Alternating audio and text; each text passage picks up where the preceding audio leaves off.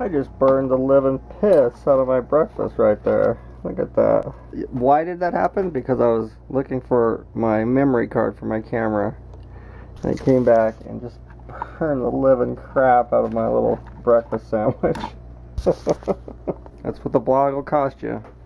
A good breakfast. Some crispy ham. And a little top. I actually got a little cheese on the bottom there. It's a heart attack waiting to happen.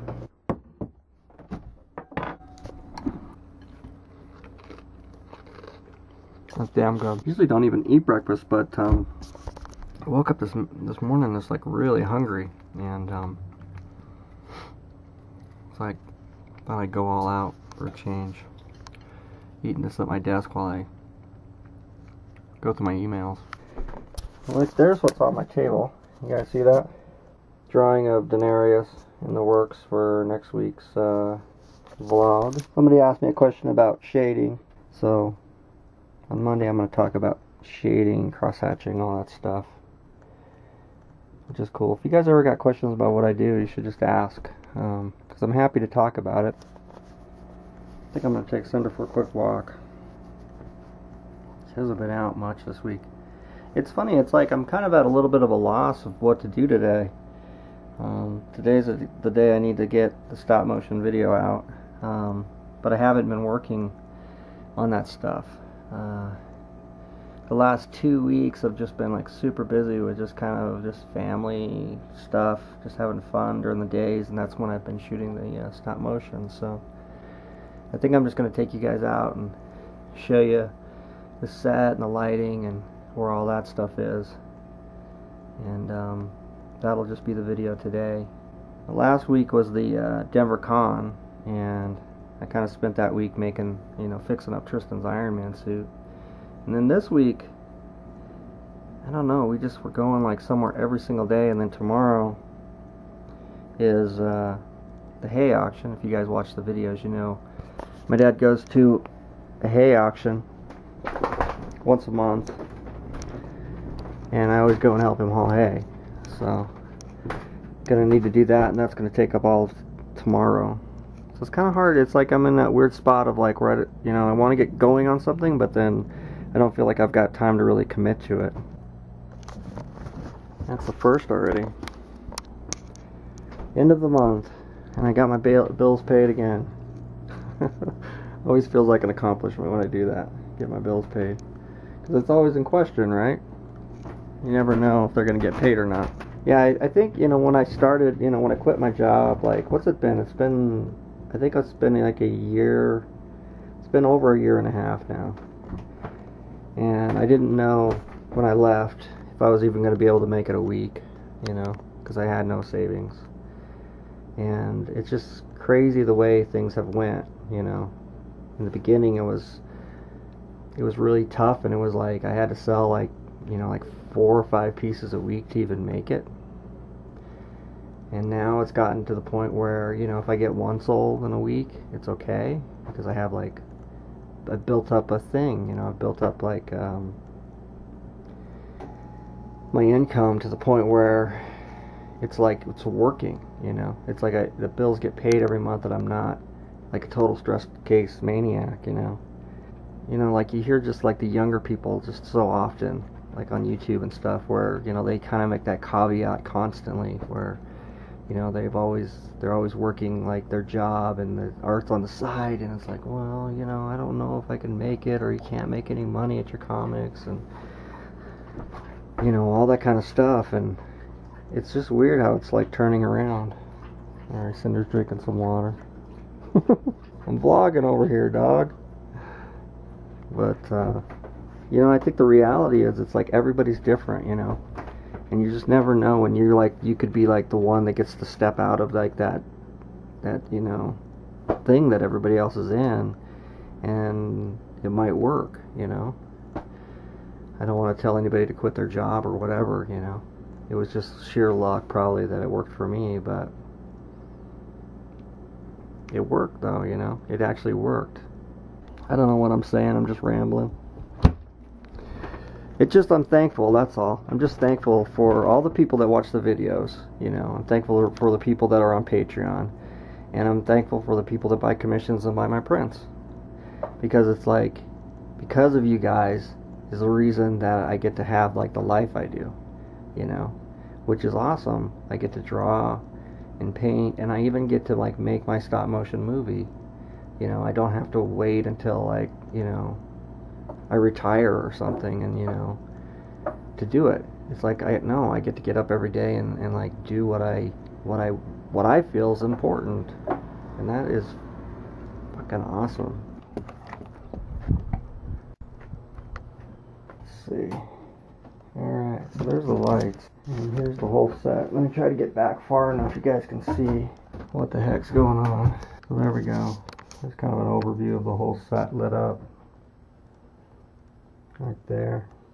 so let's see, I'll just give you kind of a rundown of what's been going on. I got, I think I have like 50 something seconds shot so far, which, you know, half a minute, but still, stop motion, right? It takes forever. As far as the lighting goes, I'll just start over here. This side of the set, as you guys can see, I, I did it, I lit it two ways. This side over here is, it's got a bluish light cast to it. This side actually has a yellowish tint. It's kind of hard to tell in this camera, but you can kind of, you see it better. You know, when you're looking through the DSLR and the camera's down, you know, at the level it's supposed to be. But on this side, with the lights that are blue, let's see, what do I got? I just got some work lights here. And this is just a piece of foam that I have wrapped around there so to get rid of the spill. And then these are just some blue cups. Let's see, so this one down here has just a blue gel taped on it.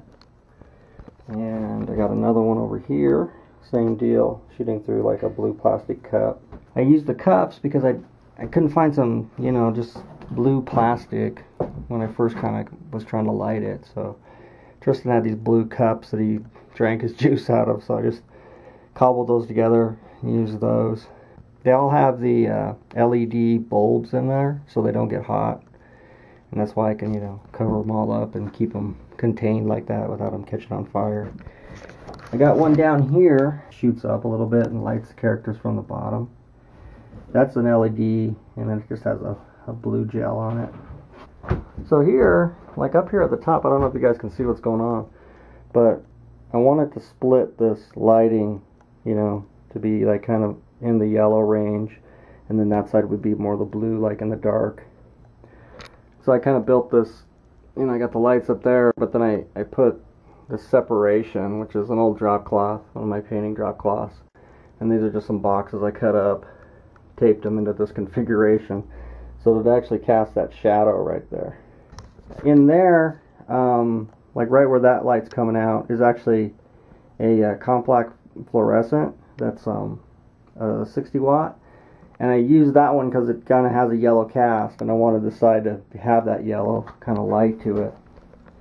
Um, this little thing right here which the puppet's not where he's supposed to be. I, um, I took this one inside the house because he needed a little bit of repair. But this little light is actually a flashlight that I um, just rewired basically so that I could plug it in. That character ended up there at the end of the last scene. That's like kind of the hero puppet and that's kind of where he's at. He's just stopped in time for like two weeks while I get my shit together and start filming again. What do we got over here? So here's some X sheets. This is kind of how I've been planning out my animation. Let's take a look at these. As you can see, there's about there's six sheets here. This is the end of this shot. And I'm shooting on uh, basically 24, so I'm shooting on ones. And these little lines with the dots were actually the LED bulbs, so each time I'd hit a dot, I know that I needed to reach my hand around here and crank that knob a little bit and change those lights to make those lights kind of flicker like candlelight. Um, I wrote over on this side is kind of the what's happening. So like right here he stops for 26 frames. And let's see, I just kind of map it out So like here's a pause. That's where I started. Um, it says notice eyes, and then uh, they get wider. His brow goes up. That took 12 frames. And then he stops again, all the way down to 24 frames. And it just goes on and on. And then I've actually, I mean, it's kind of hard to explain without really showing you what I'm doing, but I've been kind of planning out some of the motion over here too.